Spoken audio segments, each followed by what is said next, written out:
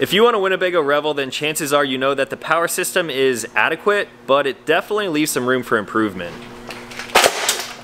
About that much to be exact. Luckily, Roamrig has engineered a fully self-contained lithium power system that fits in the OEM bench seat of your Revel. Getting your batteries out of the cold and elements is just the first step to solving your low power anxiety and improving your life on the road. With your choice of 420 up to 630 amp hours of storage, the entire system can quick charge from 0 to 100% in under 2 hours. You can beat the heat by running your AC for 4 or more hours, making the van equipped for full-time off-grid living and adventures. No generators required. The best part is Roamrig has installers all across the United States, making install easily accessible to pretty much everyone. With a new lithium system, there will be no more cold nights or coffeeless mornings, just reliable power, on demand, whenever and wherever you need it. For more information, check out roamrig.com today.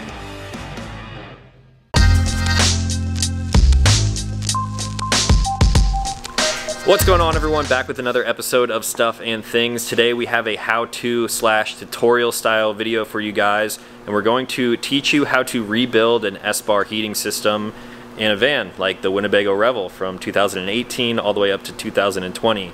I'm here today at Rome Roamrig in Connecticut with the master Aaron and we're gonna jump right hey into this thing. So yeah, we're gonna get down to it and I'll show you the, the tools you need. So I always like to get my tools ready before I start. I'm a fan of power tools. You don't have to use power tools for this, but that's what I use. You're going to need a Phillips screwdriver of some sort. Two needle nose vice grips. These are for clamping the coolant lines. Don't use official coolant clamp plier things. Use needle nose vice grips, they're the only thing that works. You're going to want another pair of larger vice grips. You're going to need a 7 millimeter socket, a 10 millimeter socket. You're going to need a flathead screwdriver, and then you're going to need a 5 millimeter hex bit. And that can be a socket, it can be an angle, just something 5 millimeter hex bit. And the other thing that I like to have is a spill pad. So this I think is a puppy pee pad, I'm not sure, but this just soaks up a little bit of glycol that you're going to spill. So you put it underneath while you're working. So why should people be rebuilding these? So these heaters have a wear item in them, which is the infamous screen that a lot of people have heard about. And generally, I say it's best practice just to rebuild it once or twice a year, depending on how often you use the van. It's pretty easy to rebuild, and it's about $30, $35 in parts. So rather than, you know, saying I'm going to add all this hardware so I don't run the heater while I'm driving, and I'm going to add a heat exchanger, and I'm going to move it, and I'm going to do this thing. I'm going to spend all this money to try to not rebuild it. Just rebuild it. It's not very hard once you do it once, and uh, just good practice to get into and then you don't have to count the hours, you don't have to worry about it, just run it. Um, they are very sensitive to fuel viscosity, so if it's really cold weather and the fuel doesn't have proper anti-gel in it, the little tiny fuel pumps that an Espar system uses can struggle. That can cause issues, no starts, fail to starts. Also low voltage, they really don't like low voltage. So in the winter when people's batteries are cold and you have low voltage, that's probably what causes a lot of the failures in winter. It's actually what sort of starts the, the, the ball rolling towards failure. So those are some other things you can look into, um, but today we're just going to do a simple rebuild and show you what it looks like on a heater that's working fine to take it apart, clean it out, and just do some prophylactic maintenance. So for starters, the location of the Espar furnace is found right here under the driver's side running board. The 2018 and 19s are a little more tricky to get to. This happens to be a 2020 that we're working on today. 2018s and 19s, the heater's actually stuffed up in here and it's quite difficult to get to, so you can relocate it to this position. Um, and unfortunately, this is a van that already has it in the nice position, so we're not going to be able to show that. So what's the first step here? A couple bolts. So first step, hoses. Um, first step, you want to disconnect the wiring harness. So there's this connector right here, and there's two plugs, and you you kind of press those in, and then you're going to have to jiggle it. And sometimes if there's dirt in there, it'll be a little tight, and you just sort of go in and out, in and out, and eventually it'll pop out. Disconnect the wiring harness first. Next thing you want to do is take this black pipe off. That's the air intake. So I'm going to be using a Phillips head screwdriver in my impact. You can use a hand screwdriver. You can use a 7 millimeter socket. You're going to loosen this hose clamp. And then you're going to pull the air intake hose down out of the way. The next thing that we're going to take off is the exhaust pipe, which is this pipe right here. Obviously, let your furnace cool down before doing this because those things get extremely hot. Yeah. So that's a 10 millimeter socket, and then hopefully it's positioned so you can get to the, the bolt head. And take that out until it's loose.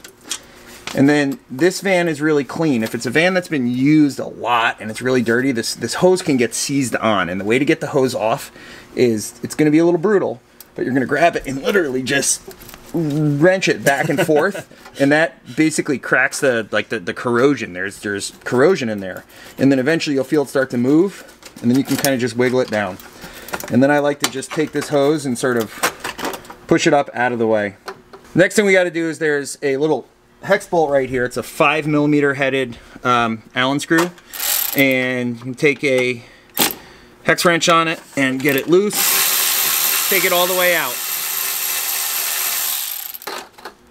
Take that screw out and put it aside. You won't need it till you're reinstalling. Now the heater is actually just sitting in this bracket and it's loose. So now you pop the heater down and now it's going to be hanging by the hoses. Here's where we're going to use the needle nose vice grips. Go up a few inches above the top of the nipple sticking out of the heater and turn the vice grips until they do a pretty good clamp on the hose and you want to adjust them. Don't break the hose. This is just to be like that. Again, official pliers for clamping hoses don't work. You will take a bath in glycol. You need to use these. Next thing we want to do, on some Revels, they have both a hose clamp and a spring clamp. Some Revels just have a spring clamp, some Revels just have a hose clamp. Depends on what day of the week it was, I guess. so, use your bigger pair of vice grips. And those work great on spring clamps. Move the spring clamp up out of the way. Second spring clamp out of the way. Next thing I'm going to do is this fuel line is very hard to get off and there's a lot of extra. So I use something, this is this, this cool little cutter blade that I have and I'm going to cut it just above the, the, the top of the nipple. So you can sort of feel that it's right about there. So that's the fuel line disconnected. Now I'm going to take a 7 millimeter socket and loosen those hose clamps. You could also do it with a Phillips head screwdriver. Just works a little better with the socket. Now they're loose. Now to get the hoses off the heater, take a flathead screwdriver, put it between the hose and the heater, and just sort of get the hose loose. The hoses stick to the heater. There we go, there's one. And here is the second one. So, as you see with the proper clamps, we don't get anything dripping. If you take the heater down upright, the heater won't spill. The heater is actually full of glycol. So when you drop it, don't have your face under it. Don't turn it on top of your face. You'll take a bath. You can see that's not a very dirty process. All right, now we're ready to go to the bench and rebuild it. Moving over to the bench. What's up now? All right, so we got the heater on the bench. If your heater's really muddy on the outside, really dirty, uh, take it to a sink, plug the fuel line with your finger, take a brush and just get some of the dirt off. Again, this one's very clean, so we don't have to worry about it. First thing you have to do is take a knife and the sticker right here, cut the sticker. That's put on after it's assembled and we're going to be splitting the unit there. Next thing you want to do is these two small screws on the end. You're going to take a Torx screwdriver, which is a little star shape, and it's a T20.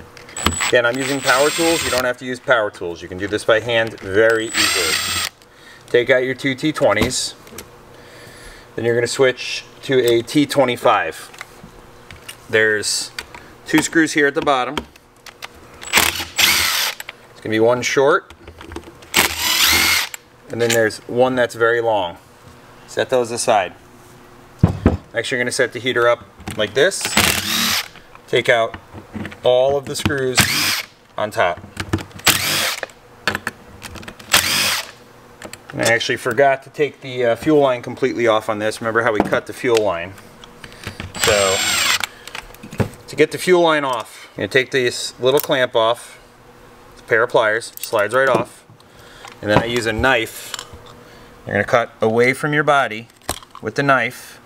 Cut through the fuel line.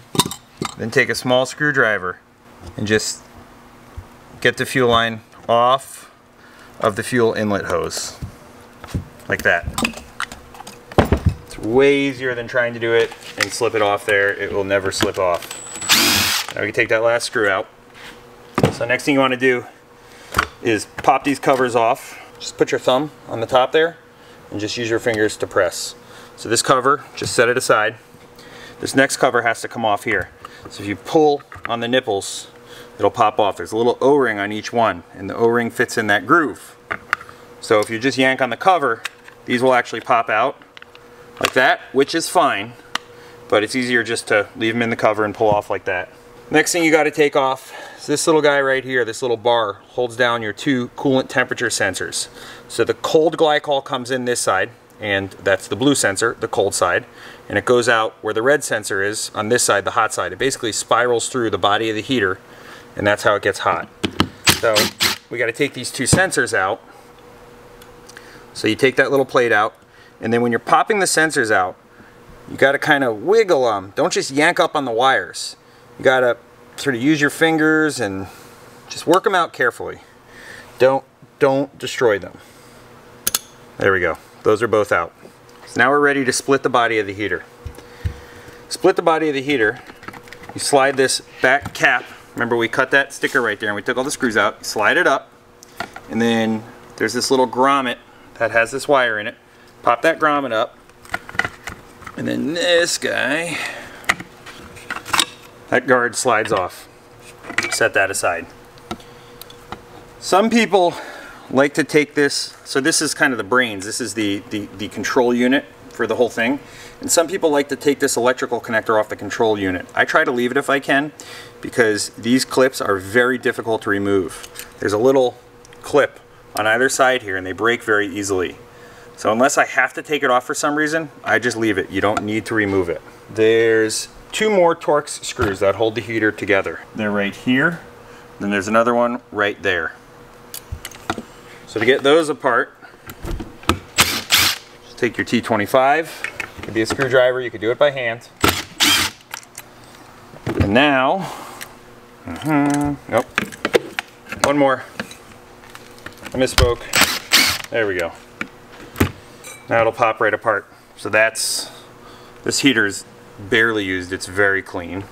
This is the burner chamber. We're going to clean this in a second. This is the O-ring that you'll replace with part of the rebuild. And then this right here is the screen.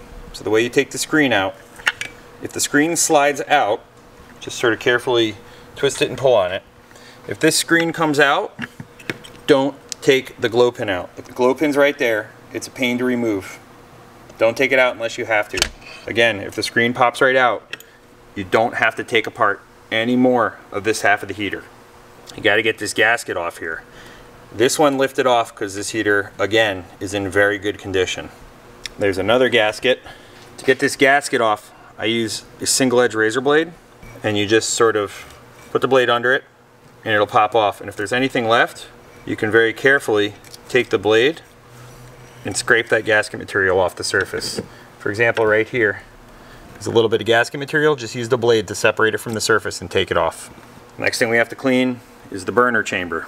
This part's fun in this chamber right here, if you have a heater, especially one that's failed and there's been a lot of, you know, white smoke, which is actually just diesel, it fills up this whole area in here is hollow. And it's actually filled with a mesh material. So the fuel gets sprayed in here, hot, and then the, the flames basically come shooting out of all those holes. They travel down the center of this tube and then they loop back over the outside and they come out of the exhaust slot, which is right here. So you have to clean out the inside here. And the best way to clean it out is with fire. So I'll take the chamber, put it on the ground, take a good torch, and just heat it up. So you basically just heat it up you see it glowing red. If you don't have a torch that can make it glow red, that's fine. Just heat it up for longer. Maybe even put it on a grill. So this is cooled now, and if it was really dirty, you're gonna want to sort of like bang it on the bench, and then see even this one that was really clean, it's a chunk of carbon that comes out of it. So you want to make sure it's clean. You can use solvent like a brake clean, or you can even use soap and water. If you use soap and water, rinse it out really well and then heat it up when you're done to dry it out, or compressed air to blow it off. Just do something to get all of the, the garbage out of it. Once it's totally clean, you also want to inspect it. Down in there, sometimes you'll see a crack on this face. This little face right here, where my flashlight is, gets cracked. If that's cracked, throw this out, buy a new one. These heaters are about $700 new right now. So if you have a heater that's totally wrecked and it's been abused and your chamber's cracked, maybe your fan's bad, just replace the whole heater. Don't rebuild it, you're gonna spend more on parts. So for people doing this themselves at home, where can they buy a piece like that and where can you buy the actual kit that we're about to install? So the best place if you have a Revel to buy the kit, and the kit is gonna be a screen, an O-ring, and two gaskets. For Revels, the best place to buy the kit is from Rixen Enterprises. Um, the reason I say to buy it there, again for Revels, um, is because there's some updates that they have done to the screen so that the screen's more reliable so you get the updated screen from them. If you don't have a Revel or you don't have a the same D5 that's in a Revel, this is a first generation, uh, I believe it's a D5WS. So this is a first generation D5 from Espar. If you don't have a first generation D5, there's tons of places you can get parts from. Uh, but I really like Espar of Michigan. They're super knowledgeable on the heaters and they stock a ton of components. So it's Espar of Michigan. Um, if you Google it, you can get to their website. Um, and they, you can give them like the, the model number off your heater and tell them what part you're looking for and they can provide it for you.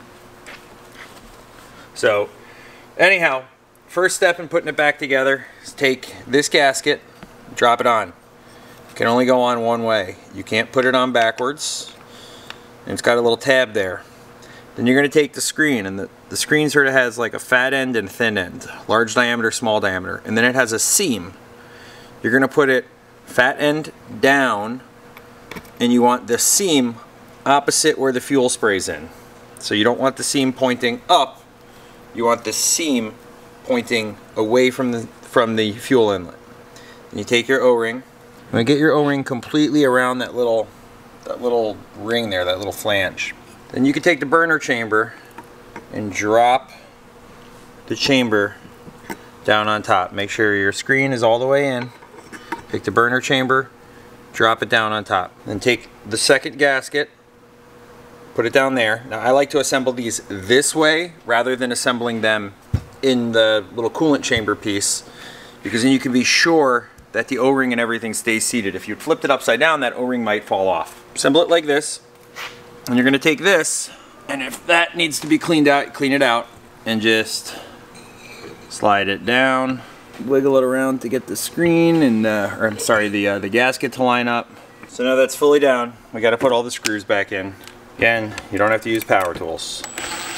That makes your life a lot easier. It sure does. So don't tighten these all the way. You want to put all three screws in that hold the two halves together.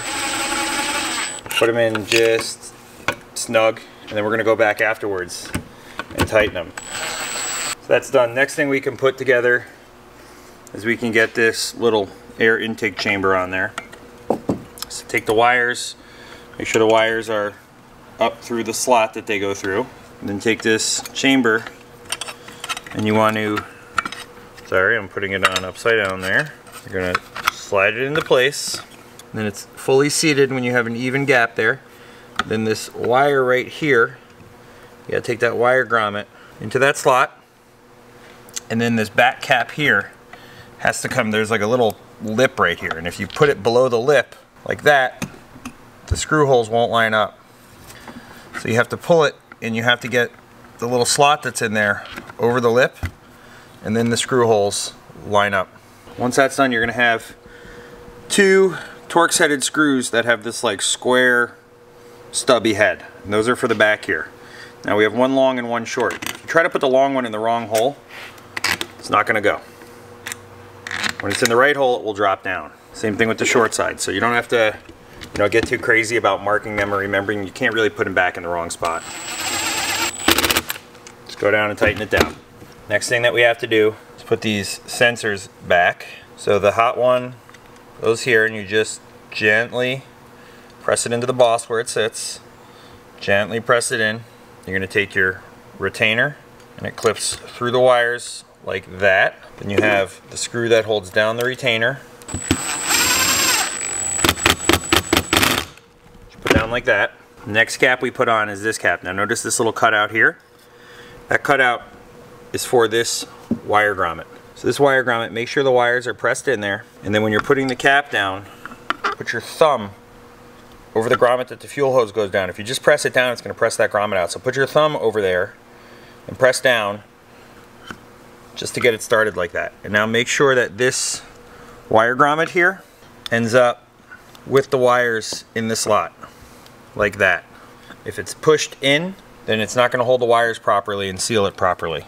Next thing you want to do is take this cap, and it can only go on one way. There's a little locating thing right there. Carefully press it down. Don't ram it down or screw it down or you can you can tear the O-rings.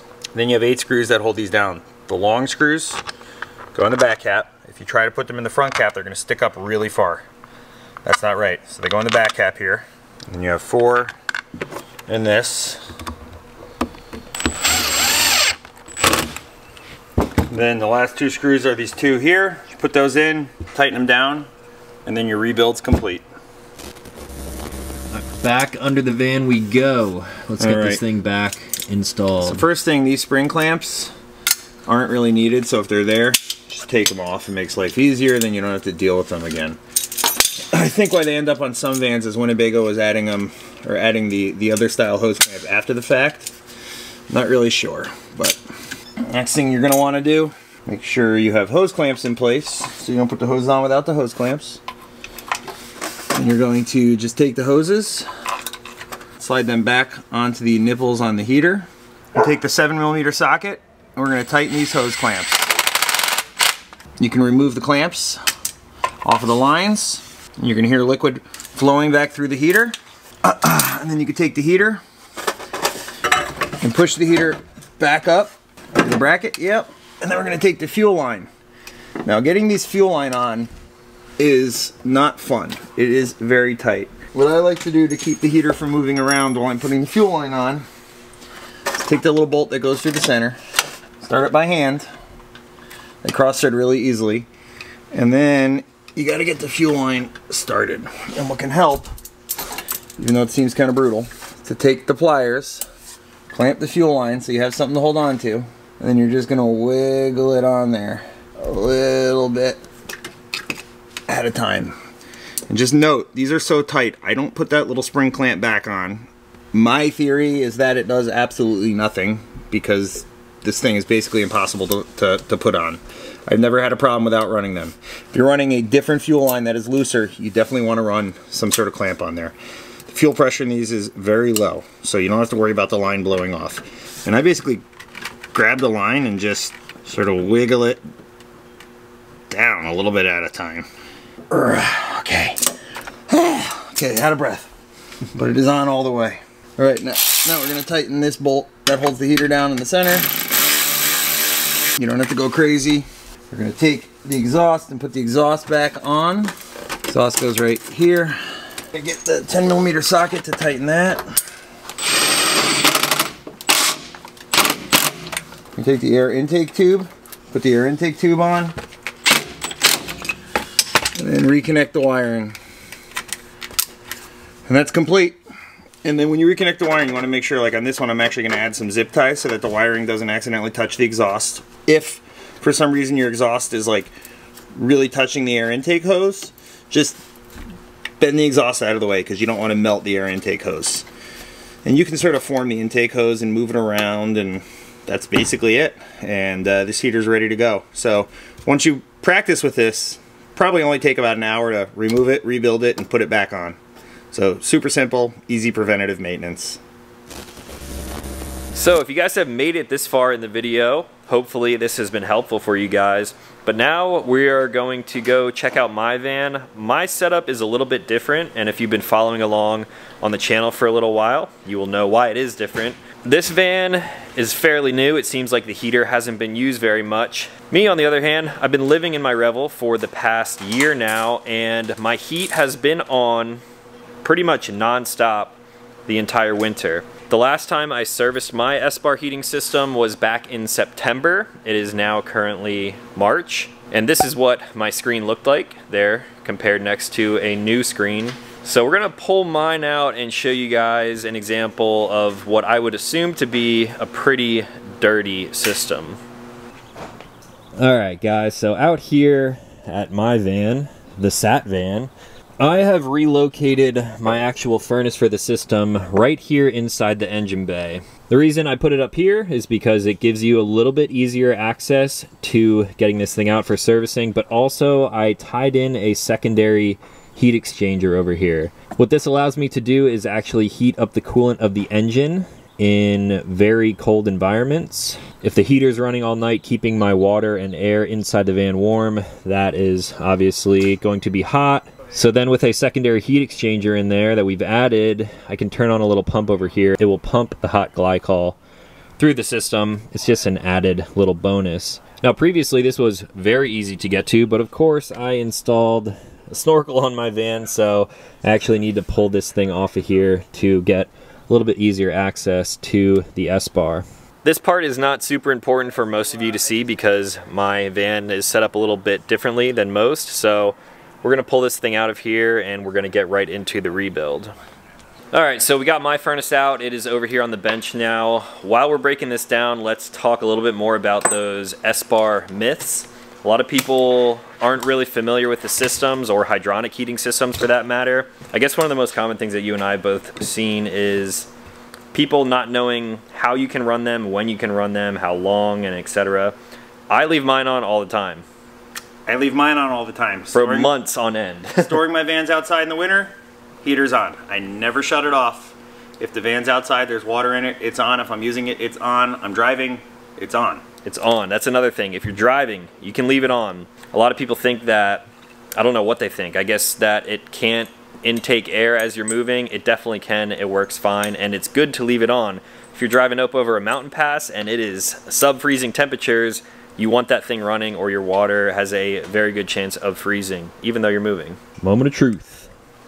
Well, looks pretty dirty compared to the last. Yeah, so if you look, it's real dirty in there. Oh yeah, that's not good. So look, see right there, see how dirty that is? That's what we're gonna burn off on this one. We're gonna get this burner chamber completely clean. This thing is pretty plugged up. Not even, the worst. I don't even see the screen. You pulled the screen out already? Oh, the screen's on this side. Oh, there it is, okay. So we'll pull it out and see what it actually looks like at the business end of it. Not that bad. Yeah, not too terrible. I think it was worse the first time. Yeah, this one's not bad at all. But we'll put a new one in anyway, because it's apart. Oh, yours is cracked. No. I got a new chamber though, so we'll put a new chamber in it. Oh, See yes. that crack right there? Right oh, there yeah. in the bottom. There's a little hairline there. Yep. So we'll clean this one out just to show everybody what it's like to clean them out with flames, and then we're actually going to put a new chamber in it because this one's wrecked. Alright, so this is what a dirty one will look like when you clean it. This is a MAP gas torch. You can use propane, or just like I said, stick it on a grill. We'll see if this one starts to smoke. I'll take the flame and I'll you know, shoot it through here and I'll... So, this is Talon's old broken burner tube that we heated up. And I actually just put some water on it to, to cool it down. I'm going to spray some cleaner in here and you see all this black stuff coming out of it. That's what you're trying to get out when you burn them. You can rinse them in water, and there's just all sorts of stuff coming out of it. If you have a lot of white smoke failures, these things get totally plugged up with sort of just gunk. Basically half-burned diesel, and then once it's full of that, it will never work right. It's sort of like a flooded engine, so real important to keep this clean. As you can see, right down there at the bottom, facing this direction, there's a crack. And that's what makes this burner chamber garbage. So we're gonna put this, maybe we'll stick it in the pile of old Winnebago parts. So there you guys have the rebuild of an Espar D5 heating system. If you have any questions, let us know in the comments down below. Hopefully this helped some of you out there and huge thanks to Aaron for showing us how this is done and sharing all your expertise with us, man. Yeah, definitely give it a try. Take your heaters apart, break them, fix them, put them back together. It's the only way to learn. As you can see, it's not the most time consuming thing to do. You could probably do it in about an hour, an hour and a half it's your, if it's your first Once time. you have practice and if you use power tools. True. There you go, from the professional. All right, guys. Well, if you are new to this channel, consider clicking subscribe. Also, if you're a Revel owner, I have a whole playlist of adventuring around the country in my Winnebago Revel, so you can check that out in the corner right up there. That's all for today. So, as always, thanks for watching. Cool. Talk to you in the next one. Have a good one, guys.